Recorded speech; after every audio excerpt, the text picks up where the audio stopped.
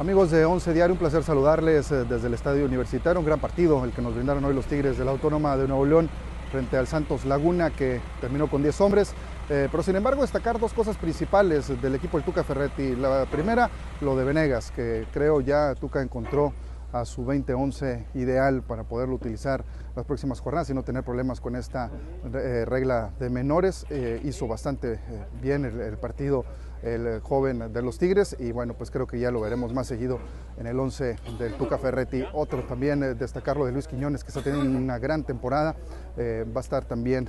regularmente en, en la alineación del Tuca y hoy, bueno, pues aparte de que colabora con un pase, hace bastante, bastante buen juego eh, y, bueno, pues obviamente la evolución que está teniendo Tigres, que destacó Guido Pizarro en la conferencia de prensa también es de destacarse, eh, por supuesto que todavía pueden mejorar y pueden mejorar bastante, pero eh, creo que están, están teniendo un buen inicio de campaña con estos cinco partidos y estando en la parte alta de la tabla, bueno, pues cualquiera, cualquiera quisiera tenerlo, por supuesto, sigue faltando en la concreción de jugadas, eh, sobre todo al final,